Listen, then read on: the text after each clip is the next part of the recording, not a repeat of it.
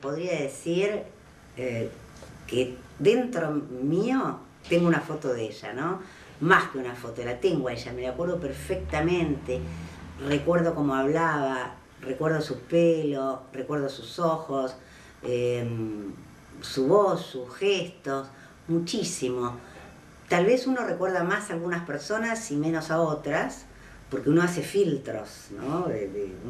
A veces olvida lo que quiere olvidar, lo que no es necesario, o lo que quiere olvidar también, ¿no?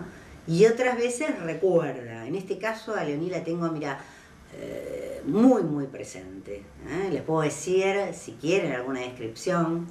Eh, su pelo tenía un pelo blanco, me parece que era como finito, pero armado, cortito. unos ojos muy dulces, pero a la vez este, muy fuertes. No, una mujer muy comprometida, bueno, de hecho súper comprometida, pero calma. Eh, ¿Cómo estás? Buen día, David.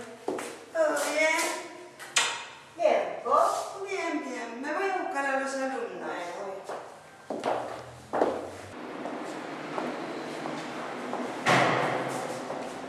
Vení, hay una reunión de sala de encuentro. ¿Están los militares?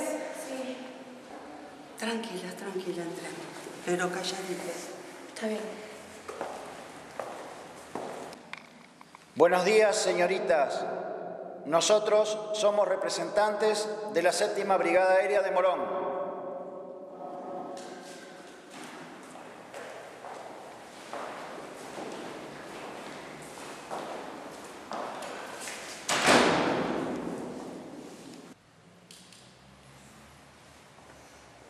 Venimos a informarles que estamos trabajando por Dios y por la patria, por la seguridad y la protección nacional.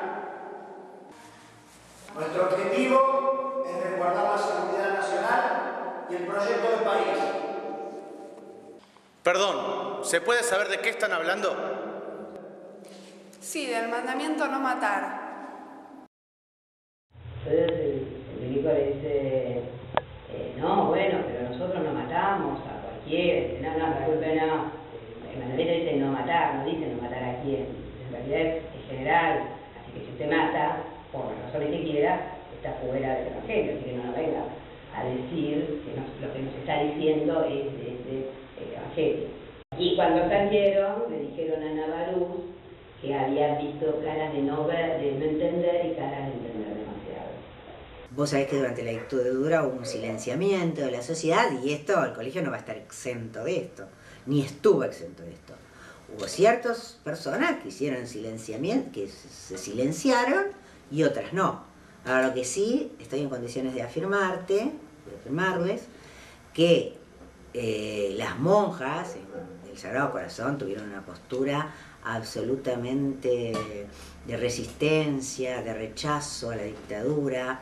Eh, era coordinadora de los grupos de catequesis y bueno, coordinaba, miraba, charlábamos, nos juntábamos. Lo que había era un debate profundo eh, de las cosas, de, los- las temáticas que se planteaban. Esto tiene que ver con los 70, chicos. Eh, no era que veníamos y decíamos, Dios existe. No, había un debate. Había un debate entre nosotros, después se discutía con los chicos, con las chicas. Pero no era que te mandaba, a ver, vamos a hablar de estas cosas. No, vamos a discutir, primero la discutíamos nosotros, después había, había una ida y vuelta. Bueno, chicas, ¿entendieron? Sí, más o menos, pero bueno.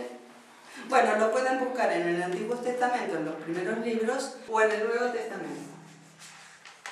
¿Por qué viniste a la Argentina, Leoní? Uy, eso fue una larga historia.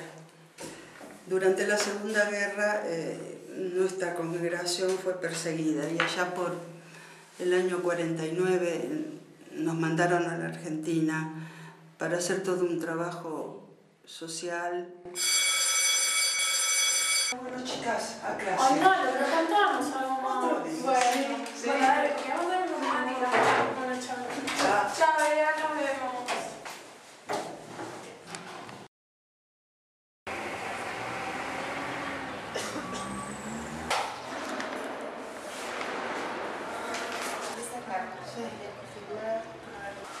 ¿Leoní?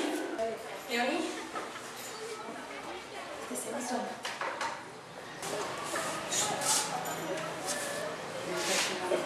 No, eh, no, no vayas, vamos por el fondo, te meto en mi auto, te meto en el baúl y venís a mi casa.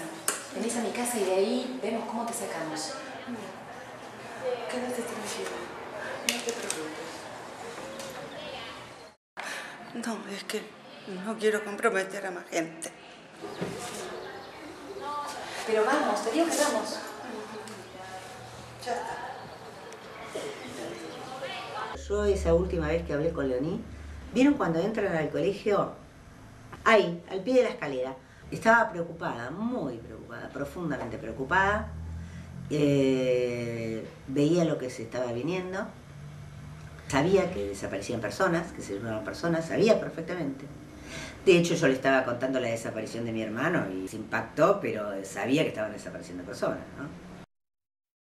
Y Leoní desapareció el 10 de diciembre. Yo personalmente me enteré porque esta amiga Dolly estaba, estaba viviendo en Aero en ese momento. Eh, tenía que dar, tenía que darme eh, las materias para terminar el colegio. Que pues yo tenía que dar como libre. Y Leonida estaba ayudando en francés. Y, y bueno, es- ella había quedado con Leonie que iba a ir a, hasta a la parroquia, en San Pablo. Y bueno, cuando llega a la parroquia, no, como no la encontró, le dio un papelito, qué sé yo, y bueno, vení, estuve acá, después te llamo. Cuando sale, se encuentra con una amiga eh, que le dice, dice, mira, eh, ayer a la mañana me vinieron a buscar en un auto y, y no se más nada, y no, no se vio a nadie más.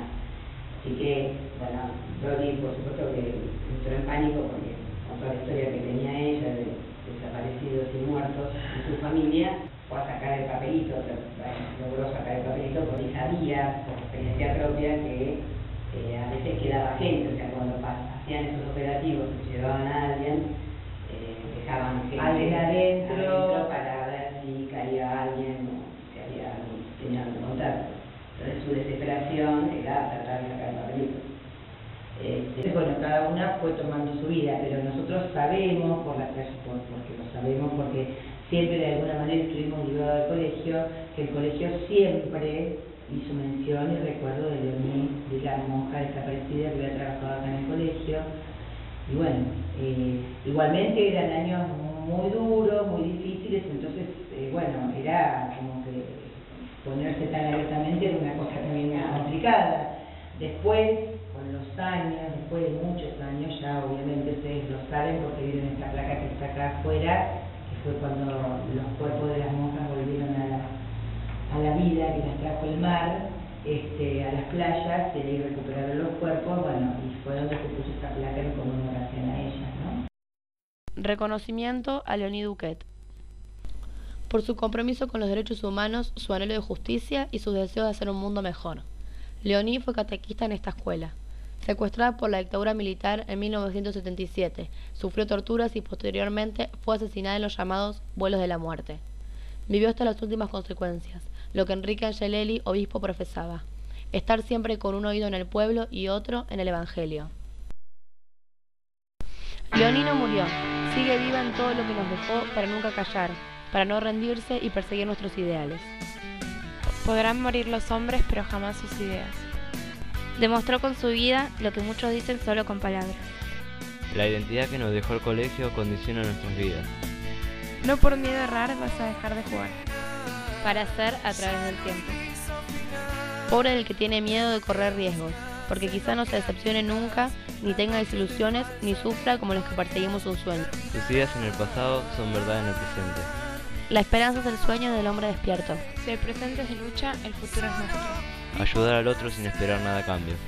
Podrán arrancar todas las flores, pero no acabarán con la primavera.